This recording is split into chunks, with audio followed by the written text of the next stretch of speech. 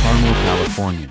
Porsche has finally unveiled its secretive restoration project known only as Project Gold. While it became clear it was some sort of 993 chassis 911, the details were kept hidden. Now we know the car in question is a 1998 Porsche 911 Turbo. The headline-grabbing information is that the car has been upgraded to Turbo S specification. That means it now has a 450 horsepower version of the twin-turbo 3.6-liter air-cooled flat-six engine. It's bolted up to a six-speed manual transmission and an all-wheel drive system, and the entire engine and driveline were sourced from Porsche Classic's extensive inventory.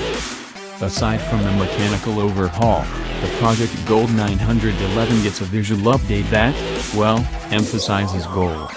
Specifically, it's golden yellow metallic, the same color used on the 2018 Porsche 911 Turbo S exclusive series.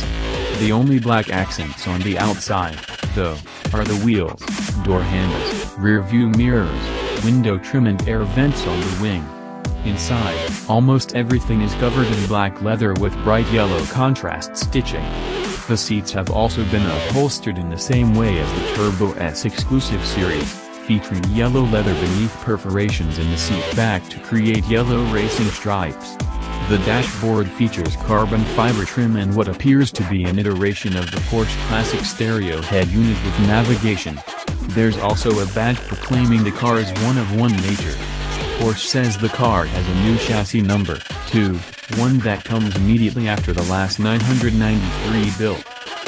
This custom 911 Turbo will be auctioned off at RM Sotheby's 70th anniversary of Porsche auction on October 27 at the Porsche Experience Center in Atlanta. Porsche hasn't released auction estimates, but it'll undoubtedly go for quite a bit of moolah. The cash will go to a good cause, though, as proceeds will be donated to the Ferry Porsche Foundation that focuses on education, social issues, and youth development. The one big downside to this lovely 911 is that it's not street legal, like another recently announced continuation car. So you'd better get ready to start towing it to track days to have fun with it.